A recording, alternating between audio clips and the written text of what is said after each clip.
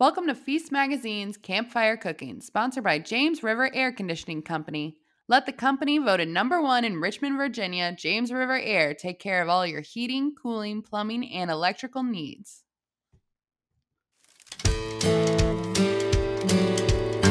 Hey everybody, so uh, today we have something really fun to cook around the campfire, and that is pizza. I bet you never really thought that you could grill pizza, but you definitely can, and I'm gonna show you how easy it is. And the recipe for the dough is very, very simple, and it takes only a few ingredients and almost no skill. But of course, if you want to buy pre-made pizza dough, you totally can do that. So the first thing I'm gonna do is stretch this guy. So I'm just putting my little, my little guy here right directly on the grill top this one with some red sauce, mushrooms, and peppers. This one's a classic, if you can't tell. A little bit of sausage and some onion, and then of course, of course, mozzarella cheese, lots of it. I can already see it bubbling. I'm gonna grab my dome and flip it over. So what that's going to do is make it so the heat really goes all the way around the pizza. Just like that.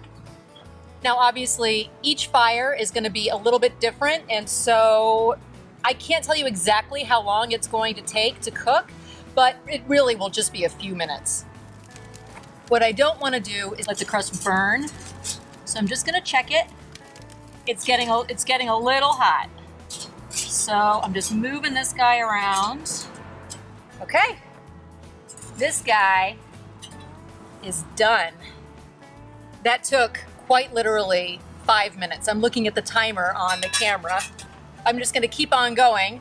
I have a classic margherita with just fresh mozzarella and basil and also um, a little bit of fresh tomato. And then I also have, and this is a fun one that I really love, it's grape and blue cheese and prosciutto.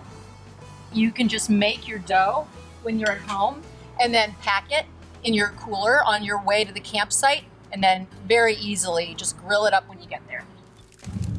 It's been about 10 minutes, so I'm gonna check this guy. That thing is heavy. Cooking over the campfire is not for the faint of heart. Things are heavy and hot. Pizza number two, hot off the grill.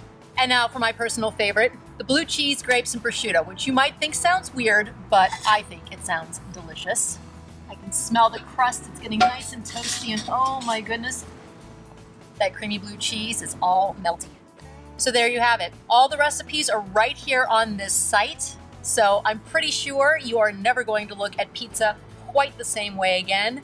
Rustic and easy right on the campfire. Thanks for joining me, and I'll see you next time.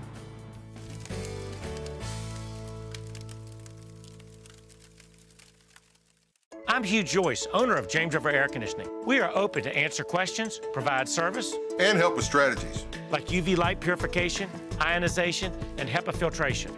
Call us. Your comfort never mattered more than it does today.